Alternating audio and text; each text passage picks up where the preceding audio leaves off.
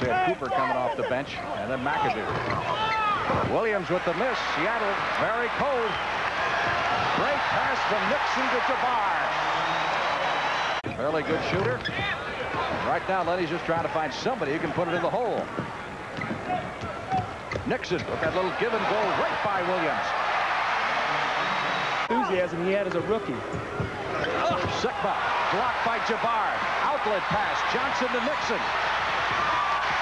The Hawes. Even the layups aren't going. Magic down court to Nixon. Coming in, still hitting that jump shot. He's 14 for 32 from the three-point line this year.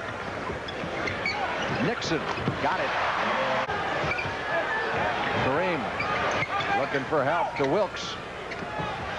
Nixon got it. Norm Nixon has 10 points, but it certainly was by accident. That was an exciting sequence of plays right there. Gus Williams challenging Jabbar. Nixon, unlike last year. Lakers with the ball. They're two down. Not anymore. Rebound and outlet pass down to David Thompson. To Shelton. Rembis got in the way of that one. Busted it up. Johnson to Nixon. Off to Wilkes. Reverse layup. Wilkes will inbound.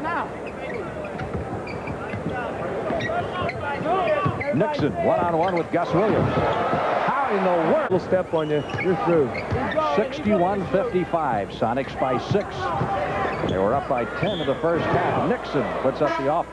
Got 16 all from the field. He can't lead. He went way over the rim. Williams with the miss and the three-point try. Here come the Lakers break. Three on two. Magic Johnson. That one close to being an over and back uh, violation. Backcourt. 45 seconds to go. Nine on the shot clock. Nixon guarded closely by Williams. Fade away. Five seconds. Williams with the turnaround. Battle for the rebound. Thompson. No. Next one to Nixon.